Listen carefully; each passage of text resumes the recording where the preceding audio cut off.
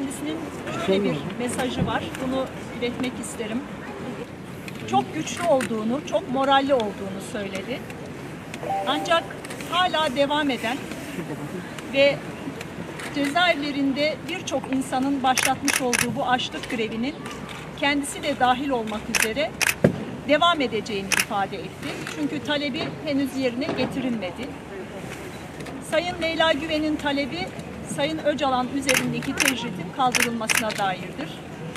Sayın Öcalan'ın avukatları ve ailesiyle düzenli görüşmeler yapılması talebinin dikkate alınmasını ve bu talep dikkate alınıp bu görüşmeler başladıktan sonra ancak kararını değiştirebileceğini ifade etti.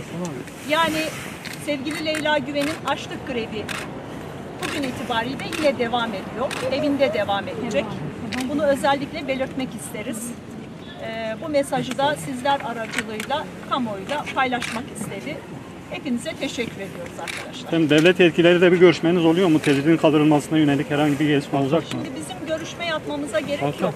Kendileri durumun farkında. Kapalı, kapalı. Bütün cezaevlerinde başlayan bir açlık grevi süreci var. Leyla Güven de bunun içerisinde tabii ki.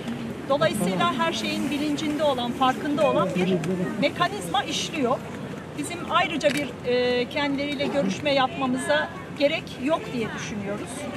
E, bir an önce bu adımların atılması yönünde kararların alınması gerekiyor. E, bu kadar yani bunun dışında çok fazla söylenecek bir şey yok.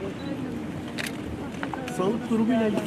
Tahliye kararını e, elbette ki e, dışarıdayım ama e, ruhum, vücudum e, içeride kaldı. Maneviyatım içeride kaldı diye ifade etti. Arkadaşlarımı içeride bıraktım.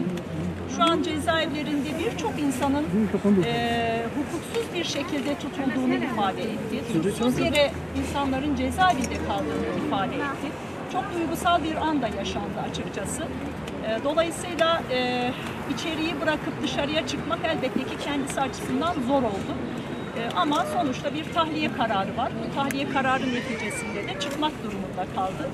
E, Bu e, hukuken aslında çok önce olması gereken bir şeydi ama biz bunun hukukla alakalı olmadığını biliyoruz. Tamamıyla siyasi kararlar neticesinde verilen ve uzun süredir cezaevindeydi sevgili Leyla Güven. Dolayısıyla bu tahliye kararına çok fazla bir anlam biçmemek gerektiğini düşünüyorum. Önemli olan bütün cezaevlerinde yaşanan hukuksuzlukların ve haksızlıkların bir an önce son bulması. Biraz önce de ifade ettiğim gibi Sayın Öcalan'la görüşmelerin düzenli bir şekilde yapılması.